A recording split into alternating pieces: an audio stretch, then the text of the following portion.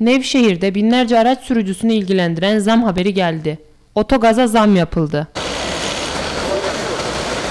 Brent petroldeki fiyat değişimi, dövizdeki dalgalanmalar ve küresel etkiler sonrası akaryakıt fiyatları değişmeye devam ediyor. Geçtiğimiz günlerde benzin ve motorine peş peşe gelen indirimler vatandaşı bir nebze de olsa sevindirmişti.